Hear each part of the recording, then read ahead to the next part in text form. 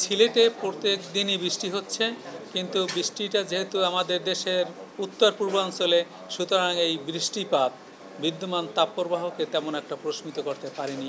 কারণ আপনারা জানেন, সিলেটে যে বৃষ্টিপাত হয়, একে শৈলক্ষেপ বৃষ্টিপাত বলা হয়। অর্থাৎ পাহাড়ের সম্মুখভাগে বা দক্ষিণ পশ্চিম দিক থেকে জলীয়বাষ্প সমৃদ্ধ যে বাতাস বাংলাদেশে প্রবেশ করে, তা পাহাড়ের পাদদেশে বাধাপ্রাপ্ত ঊর্ধ্বগমন ঘটে, সারি সারি মেঘমালা তৈরি করে এবং সিলেটের পাহাড়ের সম্মুখভাগে বৃষ্টিপাত সাধারণত তৈরি হয়ে থাকে। একে শৈলক্ষেপ বৃষ্টিপাত বলে।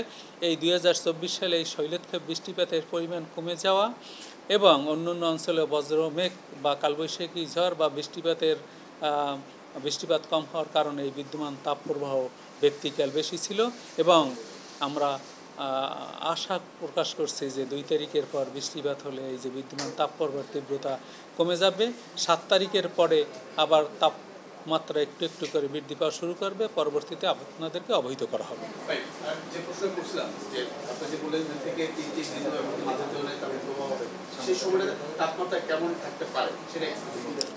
এখন পর্যন্ত এখন পর্যন্ত যে আপনাকে আমি স্পষ্ট বলেছি যে এই তাপপ্রবাহ সাধারণত এই তাপপ্রবাহ সাধারণত নর্মাল স্কেল হলো দুই থেকে তিন দিন, পাঁচ দিন, সাত দিন, কোনো কোনো ক্ষেত্রে চোদ্দ দিন। তবে এর যে বেশি ব্যক্তিকাল বিশিষ্ট তাপপ্রবাহ তা কিন্তু আমাদের দেশে খুবই রেয়ার তবে রিসেন্ট ইয়ার্সে আমরা দেখেছি যে এই তাপপ্রবাহের ব্যক্তিকাল একটু একটু করে বৃদ্ধি পেয়েছে এবং আমরা আশঙ্কা করছি মে মাসে যে তাপপ্রবাহ আসবে, সেখানকার তাপমাত্রা আপাতত যে বৈশিষ্ট্যগুলি তাতে দেখা যাচ্ছে যে মে মাসের তাপপ্রবাহের যে আধিক্য থাকবে, সেখানে তাপমাত্রা থার্টি সিক্স ডিগ্রি সেলসিয়াস থেকে চল্লিশ ডিগ্রি সেলসিয়াসের মধ্যে কোথাও কোথাও ওঠানামা করবে।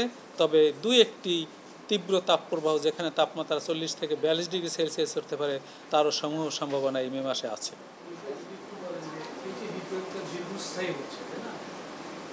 শুধু বাংলাদেশের ক্ষেত্রেই আপনারা দেখছেন নাকি আমাদের যে পার্শ্ববর্তী দেশগুলো রয়েছে?